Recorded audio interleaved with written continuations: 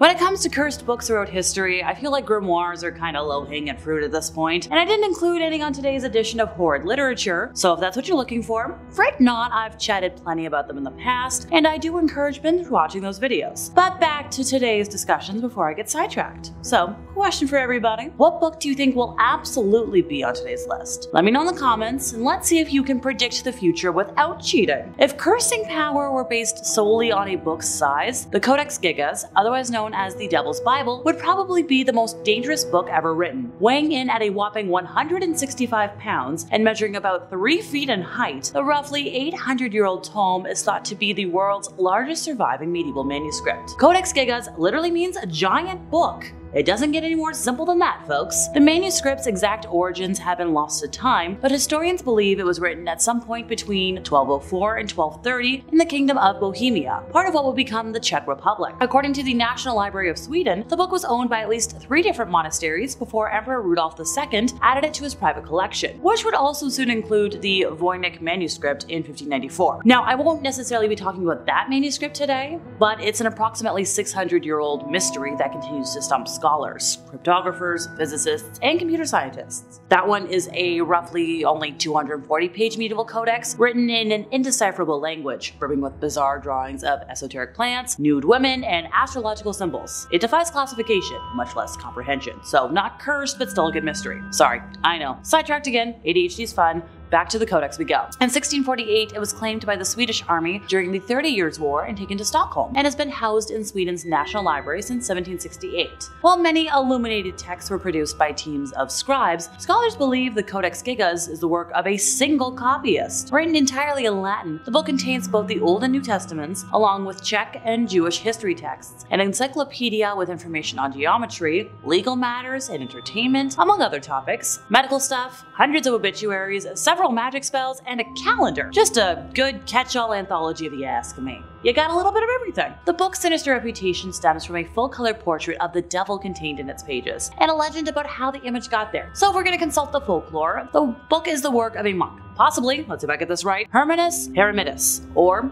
Herman the Recluse, who had broken his vows and been sentenced to be walled up alive in the monastery. He had struck a deal to save himself. If, over the course of a single night, he could write a book containing all the world's knowledge, his life would be spared. When he realized the task was impossible because no SHIT Sherlock, the monk sold his soul to the devil, who helped him finish the book and signed it with the now infamous portrait. Other versions of the story say the monk added the illustration as a gesture of gratitude for Satan's assistance, but nevertheless, the portrait is there, and boy oh boy is it off-putting to look at. There are several tales of misfortune attached to the codex, but the curse seems to be fairly benign when you consider the book was apparently also co-written by Beelzebub. One legend dating back to at least 1858 maintains that a guard was institutionalized after being accidentally locked in Sweden's National Library overnight, and he was supposedly found under a table the next morning, claiming to have seen the codex join a procession of books as they danced through the air. Yeah, not a book I plan on visiting anytime soon. Written in the early 1600s by Martin de Leon Cardenas, The Orphan's Story is a novel about a young Spaniard who heads to the Americas in search of fortune. Well, it may sound like a normal adventure story, and an outlier amongst the magical books I'm about to talk about today. A major darkness lurks within its pages that led to the novel not being published until 2018. The first draft was a 328 page manuscript that was slightly yellowed, a little bit worn, a little bit aged, missing a couple of pages, which, you know, on the surface sounds pretty tame, but you've got to assume otherwise if I'm making a point of it. It is handwritten in a decorative style reflective of the Golden or Imperial Age. I'm not super sure. The New Age print takes on a more modern bound look,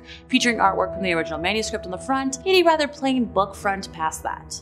Belinda Palacios, a Peruvian scholar who edited the book for two years, says that she was warned by multiple people about this manuscript. It was first said to appear in 1621 under the pen name of Andres de Leon, but never made it to the press due to the presidential atmosphere at the time in Sicily. If you know, you know. The manuscript then sat in the Hispanic Society of America until 1965 when Belinda rediscovered it. She learned about the many attempts to publish the story, giving rise to rumors that malevolent energy lurked among the pages, causing the people who worked on it to pass. In an interview, she commented on the reported deaths, saying one was from a strange disease, another in a car accident, and something, something, something else for the other. Belinda had also heard from other professors she was working with to publish the book, one who specialized in colonial letters from the Andean regions in Mexico, who was named Raquel Chang Rodriguez. Raquel's letters describe how Antonio Rodriguez Moñino and William C. Bryant both died before finishing their editions of the book, and that's why the manuscript is believed to be cursed or bewitched. They told her that the book was cursed. And the reason it had taken them so long to publish that was, well, if you work on it, you're gonna die.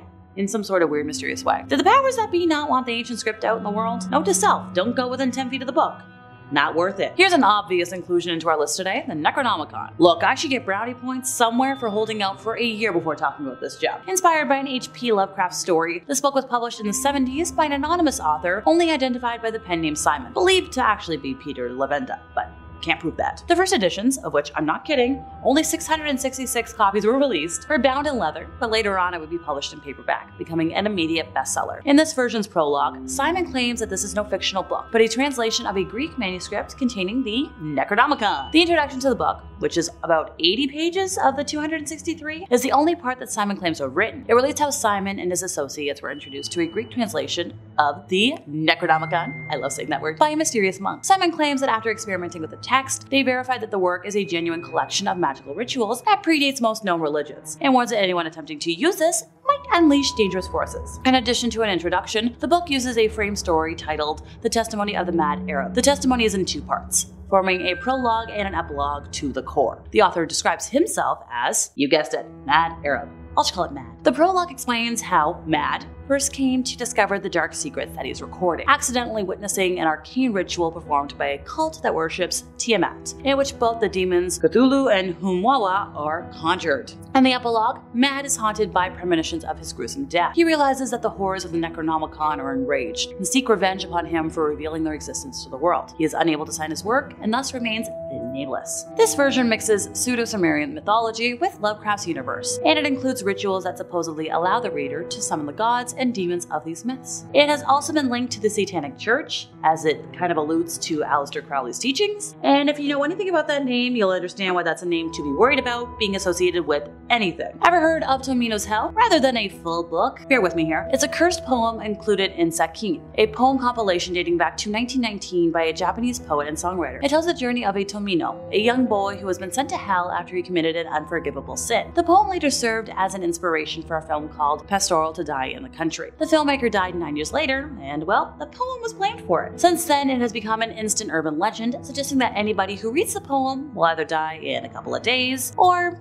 eh, be haunted by Tomino's spirit. Six one way, half a dozen the other, right? And finally for today, the Book of Soyga is an occult text that dates back to at least the 1500s. We only know about it because it was once owned by John Dee, a famous 16th century polymath whose fields of study and expertise included mathematics, physics, chemistry, and astronomy. Dee was also an occultist who was particularly interested in communicating with angels. This book must have been irresistible to him. Besides magical spells and writings about demonology and astrology, the text includes the names and genealogies of angels. Look, it's a exchange from the usual books of demons I hear about. Let me have this one. According to Benjamin Woolley's Dee biography, The Queen's Conjurer, Dee believed the book contained an ancient, even divine message written in the language originally spoken to Adam. In other words, the true unspoiled word of God. I know a lot of people who would love to see that. It also includes 36 cryptic tables that remained undeciphered for centuries. Dee attempted to crack their code with the help of Edward Kelly, a crystal gazer who convinced Dee he could channel the voices of angels. Kelly sometimes spelled his name by K E L L Y instead of being K E L L E Y, or went by Edward Talbot. Having aliases was probably helpful to the supposed medium, who had reportedly been convicted of counterfeiting and might have had his ears cut off as punishment. According to Sky History, Dee was so eager to talk to angels that when Kelly told him the angels wanted the two men to swap wives for an evening as payment for celestial communication, Dee was like,